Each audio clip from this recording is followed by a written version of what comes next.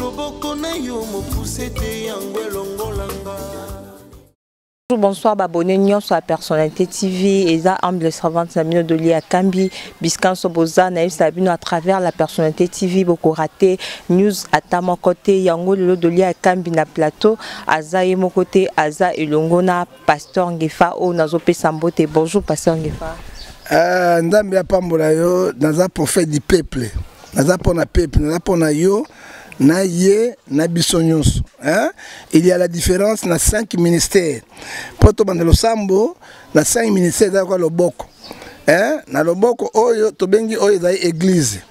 oyo cinq ministère yango eloko ezoboma bato nini yo moko pasteur yo moko prophète yo moko apotre yo moko docteur yo moko évangéliste mboka ebebi eh, na kati yango tozali na apôtre toza na prophète toza na évangéliste toza na pasteur mpe toza na docteur pour la perfection de l'église alors tolinga il faut appeler les chiens par son nom hein? pasteur akotika mosala pasteur azalaka sho lokola ngai te hein? babengi mpena berger mpende ya berger akozala sho lokola ngai te donc na cinq ministère okoyeba Eh, ozomona jésus azalaki moko chaud parce que lui-même il était apôtre il était prophète il était euh, évangéliste il était euh, pasteur il était aussi docteur ozomona yango natribution mosusu ya jedu biloko na mbwa akopesa na bato te il disait ceci parce qu'il faut comprendre un bon berger akoloba eloko wana te abaka tikaka nzambe azosala Hein? Il n'y a que ça la confusion. T'sais. Parce qu'il y a 4 à 5 ministères, Motona Motona ministère, na une Zambe, Oyo, Abenge, pour ça, la peine à l'olenge na ye. Hein? Kolo Azolokum. Mais, la personne Zambe, merci. Le Kolo est toujours banda émission, yo, tout ça pour la peuple. Et puis, surtout, le peuple, tout ça, mon nation, la au Congo. Hein? Tout ça, Mboka Msous, Mboka Msous, Congo. Ce Congo, c'est tellement malade, nde ekopesa bakongolais nyonso malamu soki kongo eza bloke mabe soki kongo ezotambola te ezali mabe mais mpona tobanda il faut tobondela nzambe mpo nzambe moko azali kolo ya milimu tata na lola topamboli yo na ngonga oyo malamu napamboli emission oyo napamboli chaîne oyo kolo tika ete bakolanda balanda yango na molimo na yo nzambe basosolo tozoloba ezute epai na yo un bon pasteur un bon prophète un bon apôtre abundaka mpo na mboka na ye totiki congo na maboko na yo ezotambola te bamboka nyonso ya afrika kolo eza kotambola me tokotala na congo ezotambola te bamboka nyonso ya mokili eza kotambola mpo na nini congo ezali mboka etoni na richesse tinda bakonzi ya solo oyo ekopesa bango mitema ya sika mitema ya bolingo bameka ata komona peuple oyo banyokoma banda kala banda indépendance te lelo oyo peuple se retrouvaka te mawa na yo nzambe na lola ezala kati na peuple oyo kolo bolingo na yo ezala kati peuple oyo somme 34 verset 20 le malheur atteint toujours le juste et dieu le délivre toujours soki tozolela tozolela mpo na mboka congo tozolela mpo na peuple oyo ezokufa mikolo nyonso na nzala na bapasi na baepidemie mosungi ya solo eza te somme 127 verset olobi soki yo obateli mboka te soki obateli moto te oyo moto azobatela ezali pamba tosengi molimo santu yo nzambe na ntango na suka okita na kati na Congo otia loboko na yo oyo nasengi yawe yo yebi oyo etikali obambola yango na kombo na tata mpe na mwana na molimo mosantu amen Ok, wana Doris Lema la personnalité, papa Ngefa, prophète Ngefa auti kokamba prière, balandi nyonso la baboni nyonso la personnalité TV boza déjà kopamboma. Mais papa prophète Ngefa namoni na prière na olobi ke mboka ezotambola te eloko nini ezosala ke uh, congo etambola te mama depuis 1960 te lelo 2019 congo mboko nzambe atondisi yango na richesse congo le pays le plus béni du monde les peuples sont dans les misères yawa biso na mbandaka motua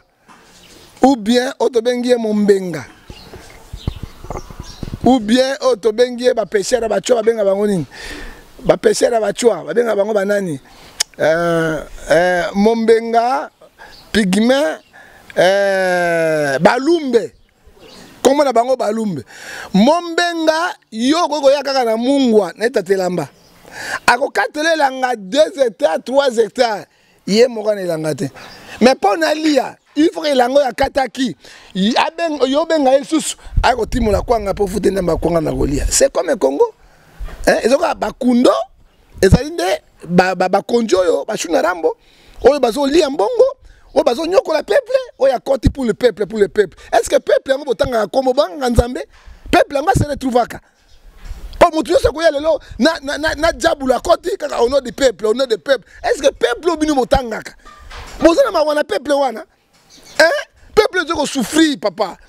na miso na bino te nazomela tiao kaka miliki ya pamba lipa sans meme bee sans meme sardine nalakisa bino ete je souffre ensemble bajournaliste batalaki yango je souffre ensemble avec la population mais soki nakende poto sikoyo nazwa bilengi wana kei papa na nga aza wapi oyo aboti nga mama na nga aza wapi bandeko na nga tu aza wapi nakozanga tike naza na passeport na biloko nakozanga yango non nandimi na souffrir na peuple congolais libération ya congo namona yango na miso na ngai congo ye moko mboka eza mabe te ce sont les individus bato oyo bazokamba oyo bakamata yango ya royaume oyo bazonyokola peuple oyo eza kose retrouve te tokose retrouve depuis quand nalobi depuis 1960 babelge baye fimbo fimbo fimbo fimbo hein? fimbo na dendo fimbo na dendo loba fimbo na dendo bakoko na biso tu badendo tu epasuka pasuka na bafimbo hein? ale mobutu kasavubu na mobutu bazwi trouble trouble trouble peuple ne se retrouve te mobutu aye akangi bango tu bale azwi mobulu 32 peuple mpe se retrouve te kaka bekiri moko bamouvasier bango ezaka bamouvasier bamouvasier kaka nini partisancier peuple se retrouve te mobutu ake kabila le père ayei barwandais na baburundais bogaze base retrouve baretrouve bakei kabila ayei ndenge moko rwandais ougandais tanzanie chine hein? Hein? na baindo pakistanais baye baretrouve baretrouve peuple eza kotrouve te tshisekedi mpe yo akoti tozomona mpe eloko moko te il faut dire la vérité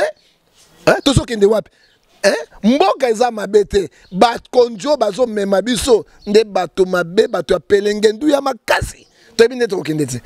Uh, uh, prophète Ngefa, tout le monde est président si Kakoti Namboka. Est-ce que RDC est état de droit parce que yo bi que président à côté aux hommes et l'autre côté. Tout le monde a déjà zo tonga bandela, tout le monde ba prisonnier ba bimi. En tout cas yo koko baksani na likamba. Maman, omoni gouverner se prévoir bible eyebisi biso natangela na mokanda na nzambe na somme 14 28 soki bozoloba biloko wana ngai ezo ezo boza neti bato moko bolingaka mboka oyo te hein hein hein eza neti bato moko bolingaka mboka oyo eh? ata moke te soki bozotanga biloko wana ngai ezokamwisa ezo ngai oyebi proverbe 14 verset 20 elobi boye quand les peuples sont nombreux sont dans la joie c'est la gloire du roi soki peuple ezosepela ezolia evandi malamu banzela malamu baklase malamu basosiale malamu ezali esengo ya mokonzi ya mboka quand le peuple manque la nourriture ou dans le misère c'est la ruine du roi mais peuple ezo kosouffrir bango bavandi bazobeta maboko peuple ezo se retrouve te bavandi bazobabi mboka ezotambola mboka ezali malamu biso nde tokobongisa mboka eh? 21 ans na pouvoir babongisi mboka te kamataka 32 ans 32 ans mobutu babongisi mboka te sikoyo tokamati ndenge babongisa mboka yango bazali wana mpo na nkombo ya peuple peuple peuple yango ezali ko se retrouver te quand le peuple sont dans la joie sont, sont dans la joie c'est la gloire du roi Proverbe 14 verset 28 esengo ya mokonzi na mboka bango soki peuple ezosouffrir bazokufa bango bana esengo bamela bachampagne nzambe akotuna bango nzambe akotuna bango si quand le peuple sont dans les misères c'est la ruine du roi peuple ezolia te na kosala nini nzala ekweyaki na mboka bazali koliana roi atelemaki likambo nini eza koleka na mboka oyo papa toliaki mwana ya songo tokotolia mwana oyo ya solo ntango ah, roi ayokaki balataki saki alelaki nzambe likambo ekomi nzambe ayokaki yango lelo ata bato bazoliana eh? bazoliana bango bavandi kaka biso badepute majorité biso boye fcc biso boye cash biso boye lamuka na balamuka na bafcc yango peuple eza koretrouve ni nakobalukela bango nyonso eza balamuka bafcc nakobaluka nyonso oyoki peuple eza koretrouve ni eza ko se retrouver ni peuple oyo bozo bango ba choix peuple ezo kola ba umbu oyo ba bengi bango ba ba toit na mbandaka akokatelanga 2 hectares ye moko asangi eloko opesaka mungu ya pamba yango balobi ete mobini ya zoba peuple nde zoba bapesaka ya kwanga ya pamba azanga nyama kolia na yango baye na mwa 2000 3000 bapesi bino yango bakoma député 14 15 000 francs 15 000 dollars peuple bozofuta bango combien 20 dollars 30 dollars et puis vous êtes là Est-ce que Nzambe ya lola akondima biloko na moi je ne suis pas contre ou pour. Je suis pour la population et pour l'église de Dieu. Quand les choses ne marchent pas, il y a un prophète doit à côté les mains. Il doit se mettre debout pour parler de la part du Seigneur. Hein? Nzambe aso se pelater. Hein? Congo Brazzaville le kabiso. Rwanda ne parlons même pas. Burundi. Le Rwanda comme premier exportateur il y a il y a combat. Azali na na eloko combat moko bimaka na mboka na ite. Uganda or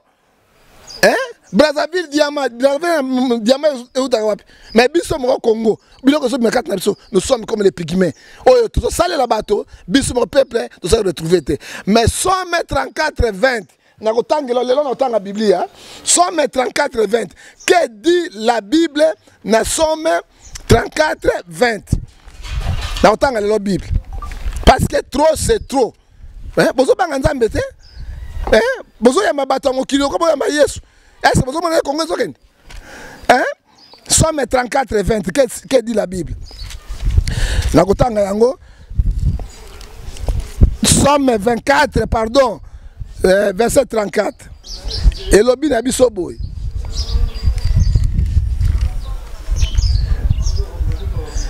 Le malheur atteint toujours les justes et Dieu les délivre toujours. Hein?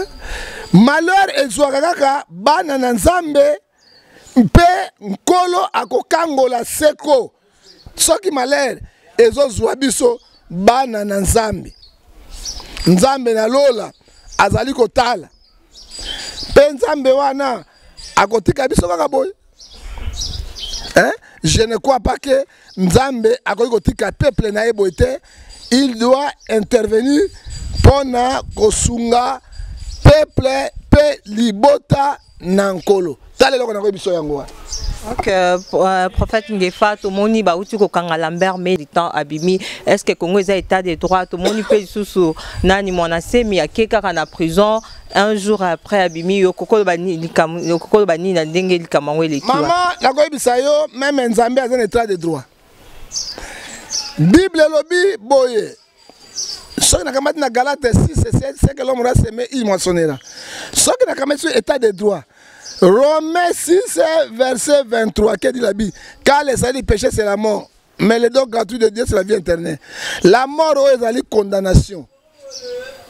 hein bato basali mabe fait de la gaine la mort eza punition ya nzambe e nzambe moko aza moto ya état de droit soki tolobi lelo état de droit toboyi te eza solgon mais état de droit banda na kabila bacrime contre l'humanité basali na bagouvernement na ye soki état de droit ya solo ezali on va commencer par lui arendre compte bato bakufi na budi ya congo bato bakufi na nyele na mbandaka bato bakufi na kati ya goma na bukavu bamasakre esalemi awa na kati ya kasai état de droit c'est ça hein? parce que namoni président ex président argentine baosambisa ye lelo eh, omoni état de droit botikaka basolga ya pamba pamba na kokosa peuple bazosambisa ye lelo eh, président argentin le plus populaire oyo komona nani oyo lelo bakanga ye eh? le plus populaire président oyo aremplaçaki ye wana eh? bakangi ye aza na prison eh? tete de droit yango wana alinga tia candidature na lula président silva lula na kati ya brésil président le plus populaire alinga tia candidature na ye lokola azalaki kaka corruption abomaki te bakwei na ye 5 ans de prison ça c'est l'état de droit boti kosekaka bato na état de droit état de droit bato koya mende baozala libanda te oyi bato omoni mende aboma bango nakopesa koboma moto kaka kobeta bato masasi te internet bato babikaka combien mais lui veut il arrête l'internet abomisi misala bato nyonso il faisait ce mende elle intouchable kimbuta l'intouchable il fait ce qu'il veut non mende bakangi na bakangi na diamant diamant ya 87 kara des millions kara diamant na koko bima pour que peuple l'état de pourcentage nango ekosata mwa nzela ya ngilingili awa mais mende na maboko na ye na bato wana akologe bango na ndako na ye eloko nini aza na yango toyebi nde basalaka bango to bakoboma bango to bakobika mbongo eh, diamant na kokende kaka boye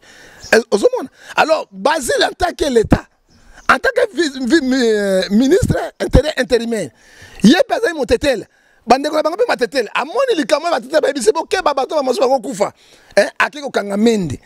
ye aza leta mais kokasipli nini bakangi mende ya solo parce que aza intouchable akomi intouchable mais na 3 heures du temps botiki mende nani asima mende eh, donc bamende bazalaki baintouchable eh? pourkui bino osaka na bato mosusu wana te bino bozomonelaka nde basingi na, na, na kati ya, ya prison eh? boza na bato bino omonelaka bango eh? bato base mabe ko bakimbuta basingi ba baza wana ebele bamende asimbi eloko oyo leta ayebi bamilio eza na ye leta eza koreagir te qui est derrière mende hein ba mende baka na fonction parce que to loba sika nini hein état de droit ngoyo mais soki kuluna kaka abotoli moto kaka telefone ya pamba ale papapapa na boloko telefone ya pamba kuluna kaka abotoli cheneti pamba hey, ye wa bolona sango na television hein non non non mboka ezali deux poids deux mesures te oyebi na mokanda ya constitution article 57 elobi tout congolais a le droit na justice toza biso tout ego moto aleki moninga aza te yango bomoni balula bazosambisa bango président ya argentine yo lelo bazosambisa ye na baargentin pourquoi baprésident na biso mabe oyo basali bapremier ministre baacte basali baministre affaire intérieure oyo basali baliwa bamakambo na sapu bato bakufi pourquoi pas peuple soki etat de droit peuple basambisa bango tomona consort na bango tondima eta de droit soki kaka tondenge tokende ba justice ya pelengendu oyo babengi ya poloso oyo ya karai vele ompeleda ompeleda eza mawa mingi pour moi je ne vois pas l'état de droit parce que l'état de droit mabe eza ebele bacommence par bachef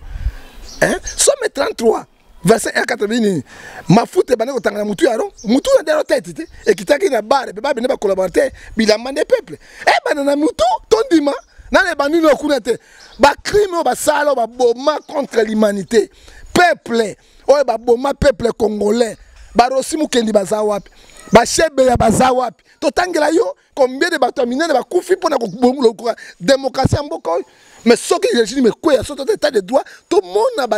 bajustice ebanda na bato wana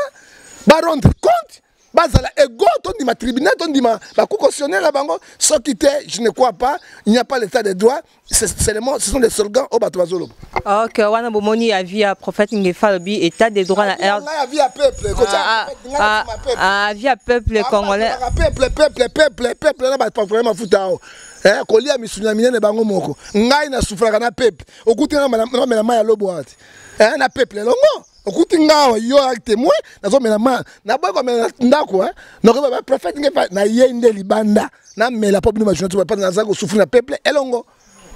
ok euh, prophète ngefa alobi aza kosufrir na peuple elongo tomoni mpe lisusu prophète ngefa arrivé ya moïse katumbi kuna ya lubumbashi tomoni bayambi ye comme président en exercice tomoni bayambi ye lolenge batikala koyamba na motu te euh, euh, mpo na yo koloba nini wana mais omoni baka ya moïse katumbi eza baka ya lokola oyo tozoloba saul na david na periode wana saul azalaki roi david azalaki ka soldat simple mais soki bakei guerre peuple ezoganga saul abomi 1000 david abomi 10000 na suka na yango david akomaki roi epuis na généalogie ya david ti naissance ya jésus christ ozo comprendre ezoloba soki bakatumbi quand on parle de katumbi on parle de lamuka quand on parle de katumbi on parle de fayulu quand on parle de katumbi on parle de bemba saolo bemba ngobo quand on parle de katumbi professeur matungulu quand on parle de katumbi tomoni bato wana bango nyonso mosusu natangi na bamozito bango tu baza na kati ndenge namonaki bayambaki katumbi ezali kaka chef de l'etat bayambaka ye banda babanda ezaka mobutu na katanga apart mobutu nayebi te katumbi bato bauti na rwanda uganda kivu république mobile na biso bato aso ambandaka bazwi bwato bakomi na kisangani mpo avion ezalaka te ale bwato bakili na uweleuwele bakwei kuna bakoyamba katumbi ah, katumbi oza na moto olembeseke président katumbi olembe so nalobi bo alei te ngai na mpo na motu te na mpo na peuple j'ai dit la vérité ça montre quoi élection tosalaki eza bino na bato oyo bavotaki bango ya solo baza basigne yango wana oyebi longo nakoyebi biso lelo na mathématique 1 plus 1 égale 2 1 fois 1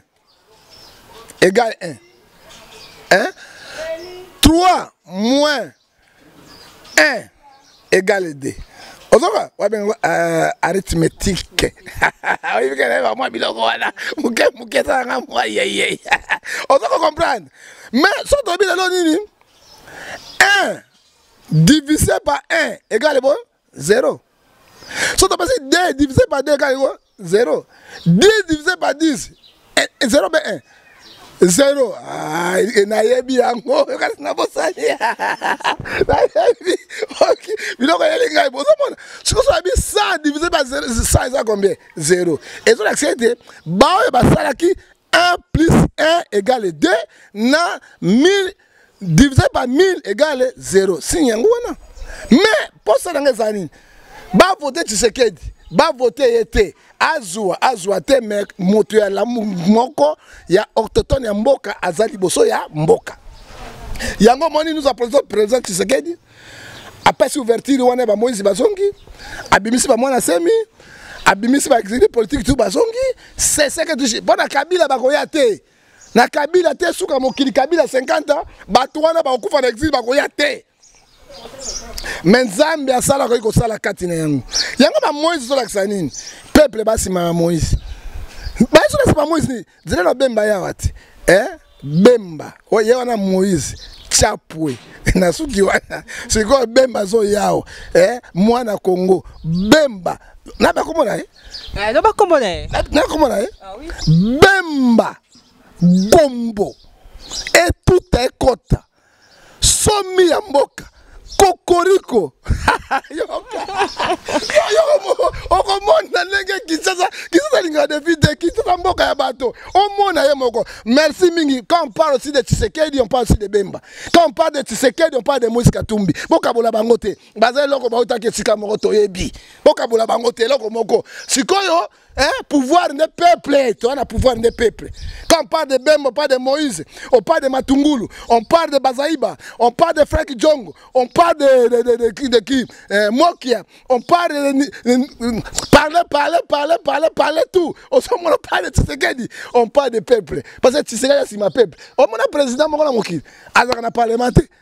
aza majorité te seigneur na majorité te na bagouverneur profession aza na bango te nini mais peuple basima na ye alors peuple nde etiyaka bango ntango peuple basima na yo ata biloko na bango ya, ya lifobo wana baparlema bango ya pelengendu ya poloso oyo tobengaka karai vera mpeleda o mpeleda oyo ya bango boleya ekosala e, eloko te se peuple nde asima na ye c'est ça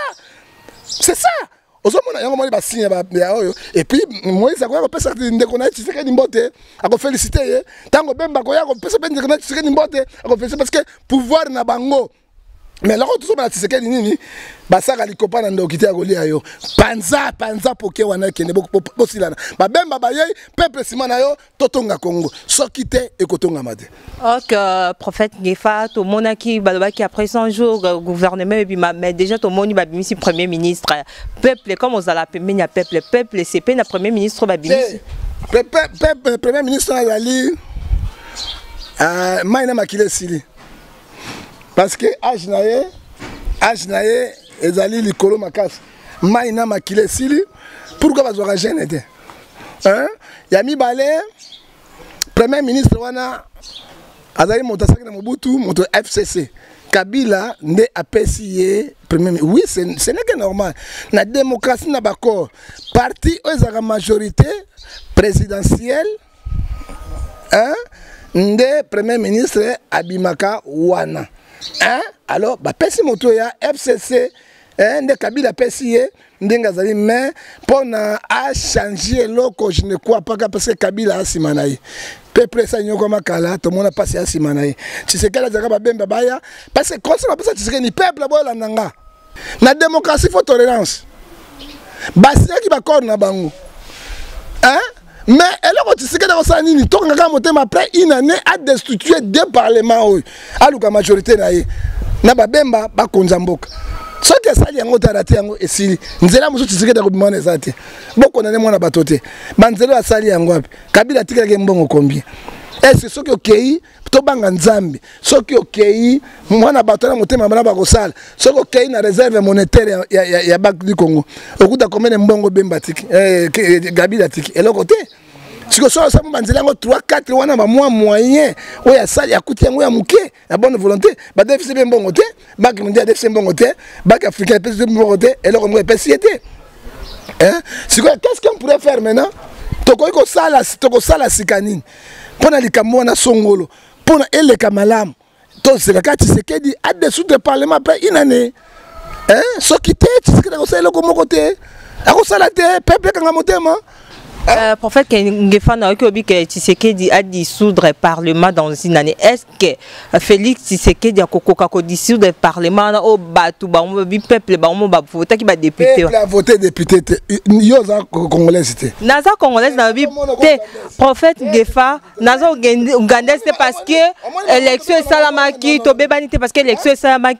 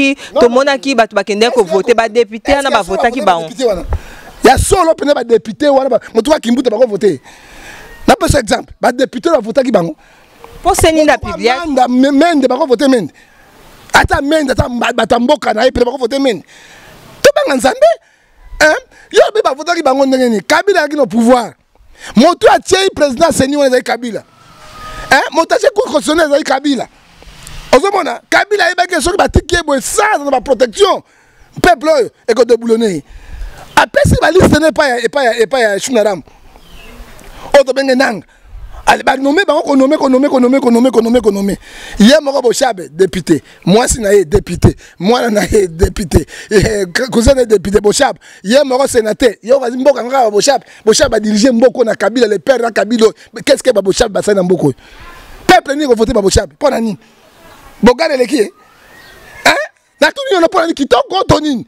baboshabe toyebi bango makambo asali lui était ministre de l'intérieur mboka na ye kamuna sapu bakoboma bato kuna lui était où apekisaki kabila apekisaki bango makambo ebele na mboka oyo vraie justice ekoya na mboka oyo justice ya nzambe ezali oyebi apocalypse nakotanga lelo nde bible chapitre 6 nakotanga lelo nde biblia que dit la bible na masu bato na mosusu bakozwa ngolu te me yo ozwi ngolu wana apolka 6 bato bozoboma bango bible elobi nini yo mpe soki olongaki zemi bible mpe okangi yo eh, ozotala ngai kaka bato kasi kaka bango nde baboyi bango mpe zemi yo olongolaka yo oyebi c'est bon solo ngoi te bien solo ngoi ta litanga makila bible ekangi yo apocalypse chapitre 6 verset 10 il crie d'une voix forte bato bazokanga nini bato boko oyo babomaka bango mwasi boye yo monganga te ozwi mbele otoboli otala libumu ya mwasi ndenge mwana azosala na mwana na mwasi bakufi makila ezoganga liboso na nzambe moto asala eloko toyika na mbeli kuluna obandi kopapa lokola nta bakufi akangi foto tanga ata biyo ah, akangi akufi foto ekangami ekofunda epai ya nzambe yo ozwi zemi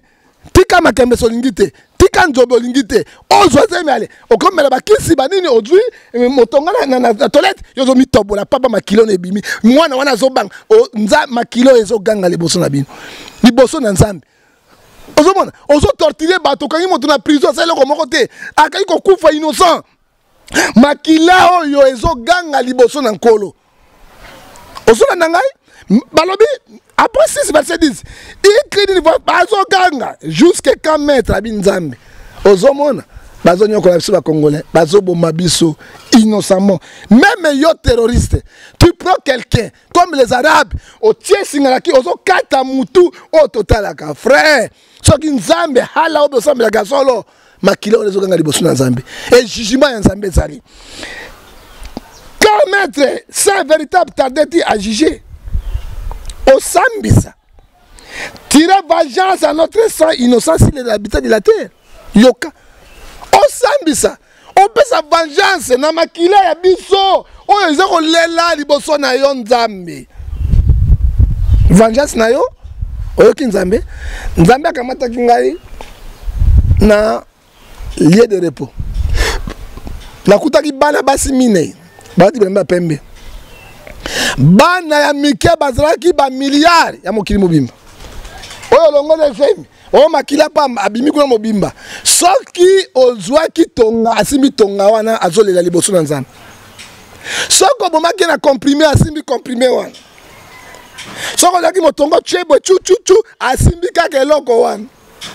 ozwaki pompe otye kasa boye otongoli asimbi ka pompe na kasa wana bazolela epai na nzambe tala vengeance tala mokili otindi biso na mokili bato na mokili balingi biso te babomi biso nzambe aya na makelele alali te yango omoni jugement nzambe ezali hein? est ce que bapeuple congolais bayebi yango hmm? oui toboyi te eloko yo olobi mais soki peuple eza kose retrouve te bozoboma bato bozonyokola bato estce oyebi bato boni bakufi na kamgo na sapo oyebi basi boni basali baavortement na kokima oyebi na barwandais baburundais bougandais babomi bakongolais na este combien estce base repentir hmm? nenyele babomi banyele na mbandaka gemena nyama mboka ya biso ya mai combien guerre ya kisangani six jours baugande na barwande bituma na mboka ya bato bato bakufi combien mboka oyo eza na maladi eza na nyongo nyongo yango il faut tofuta yango spirituellement mboka oyo bateka yango na bakonzi nyonso baleka na kodevelopma makambo mosusu baimpacte bapacte oyo basalaka yango congolais moye e, congo edeveloppe eza te sala na ndenge olingi est-ce que omona mokili mobimba oyo nzambe asala de pays étranger eya kobunda na kati ya mboka ya bato oyoka yango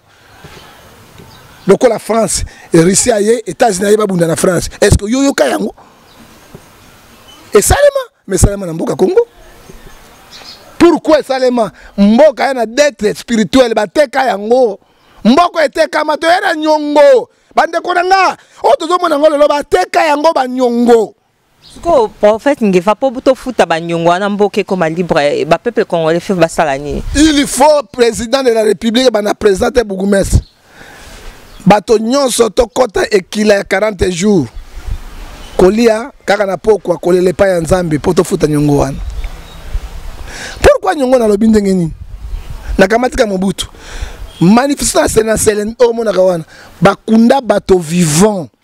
na kati wana mpo na, na pouvoir ya mobutu aza kokoa nzambe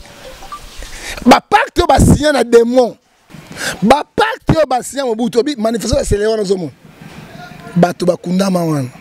omoni victoire rompoint victoire bakomi boye bato bakundama vivant wana mobutu akei kabila lepe na ye bamaimai biloko bapesaki ye na banzoto bapacte euh, kabila le fils ayei tous les provinces bapesaki banzete bapesaki baposo ya nguba bapesaki banzete tout ezali bapouvoir moko ezali pouvoir moko diabolique hein? et puis bapouvoir oyo ezalaka na bapacte oyo bango basignaka hein? lelo tshisekedi aye toyebi te ceque mboka eko développe ndenge na bapacte diabolique tomoni félix tshisekedi tomoni ye mingimingi aza entouré na bapasteur mobuta aye entouré na bapasteur ngbanda azalaki nani hein? kabila le père euh, le père ayaki euh, oyo oh, nani rubero babenga ye pasteur eh, motana makila ebele pasteur azali moto nani eh, sikoyo tokamati tshisekedi oyo oyo président oyo akoti oyo eh, kabila azalaki mogalo azalaki nani bazalaki tutini bapasteur ya entourage tshisekedi ezalaki bapasteur na bapasteur pasteur elobi eloko te so bango bapasteur batambolaka malamu te parce qu'on donne ce qu'on a soki bango moko eta na bango eza malamu te soki baye pembeni eloko nini baporte yo hein baporte ya bengo bubulence tika makambo ya pasteur ya pasteur nzambe arejeta bango oyoki apocalypse elobi na 3 awa soki mena nakotanga yango mpo nasukisa yango nabaki lelo nakotangela bino mokanda na nzambe apocalypse ya livre de référence 315 que dit la bible parce que kokamwa te ngai na moto na nzambe il faut constitution eloba eh, apocalypse elobi na biso na apocalypse 3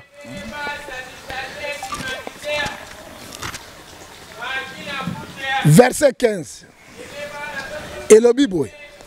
voici je connais tes œuvres nayebi misala ya bino bapastere je sais que tu n'es ni froid ni bouillon boza moto te mpe bozali malili te puisque être froid et bouillon ozala malili na moto te ainsi parle tu n'es pas tiède oza mpe mai ya mamwa moto te epe malili te je te vomirai de ma bouche asanza bango ça c'est la parole de dieu hein? moto oyo avandi boye mpenza boye aye boye yo neti sere oza boye ndenge mwasi amiprotegeaka olati sous vêtement olati olati boso sous vêtement otie baprotection na bino okamati esu mpe mwa kilote otie na kati eh, oyo obongisi yango ofandi kaka mpe okeyi pa paster eh, libumu pasi eh, eh, eh. omona nzombo mpena azobima atobolaki kaleso ndenge nini atoboli jipo ndenge nini eh? atoboli pantalon ndenge nini keke aza na maison na passer na solo eh? bango wana bazali bagenge nayaki na mawa nazongi na sem bino kuna plein olakisi ya minene onote botondi wana plein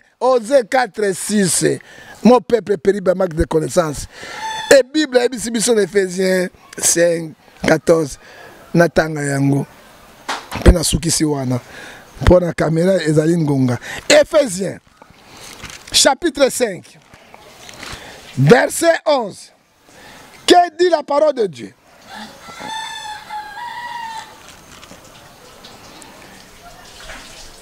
nalingi kotanga yango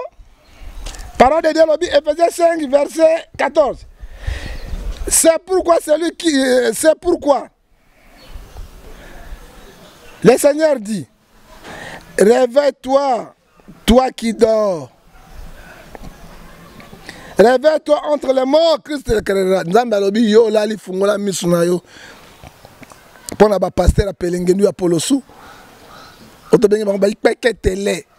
Ba pasteur ikpeke tele fungola misu ba kondi ikpeke tele. Bima na liwa. bazo mema Congo na liwa mais nkolo Yesu Masiya akofungola bino miso et je dis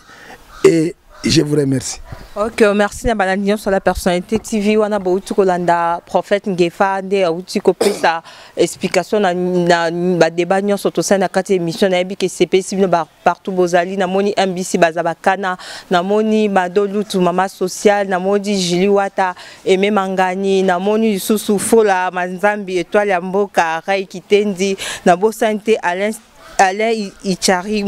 la place aux Bambote Belé, Frinas Mongoy, Makila ba champion, Bambote Belé, Hercule Bamvoitou, place aux Bambote Belé, Prophète Ngefa, soki oza na message ya suka mpe bambote ya suka ezali nzambe alobi na biso boye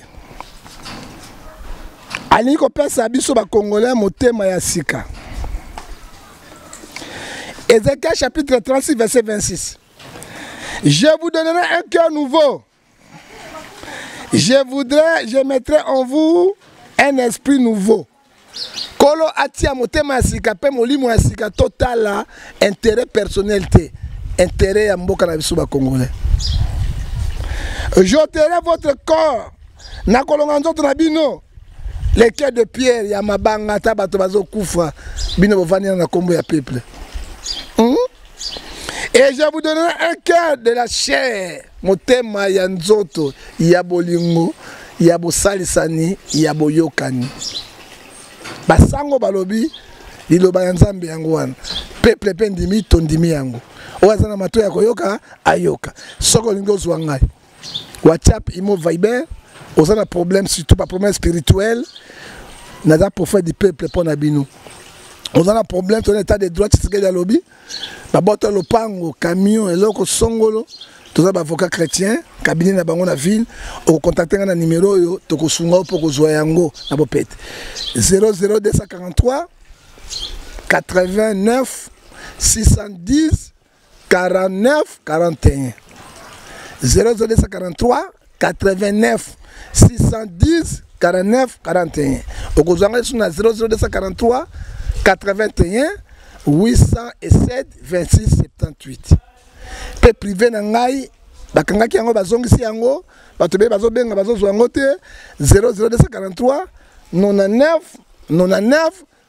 42 937 mbote napesi na yesu masiya nzambe na bule napesi mbote na gotie bele oyo sel asalaka chekecheke euh, euh, euh, balife serling napesi mbote na odeti wanyongo na mboka etats-unis d'amérique molandi na yo monene alela yo mpe fort epuis napesi su mbote na ngai epai ya riso na kata bukavu petit ya mokonfia ye nde asimbi bukavu nyonso na maboko na ye donc un vrai patriote un vrai patriote soki rwanda aye burundi aye nini abizonga na mboka na biso botika biso calme toboyi bapaya te nzambe apambola rizo mpe oyo ya suka napesi na bolongani na ngai mama bana na ngai on a le live fort oyo asalaka nga mwa mwete mwete oye komona ye mama brigite mwete mwete kola pambola bino ok wana topesi mpe mbote na mama brigite oyo apesaka prophète ngefa mwete mwete bisika aza bambote ebele tosengi mpe merci topesi merci na prophète ngefa parce que azwaki temps na ya disposer pour to passer na to sala na émission na pesi merci na Charma Bilele beau garçon international ah, maman Rose Ngefa maman Bokoto ah, maman Rose Ngefa maman Bokoto na moni wana la manque mur de Paris pebima bianga ba place aux abambo tebele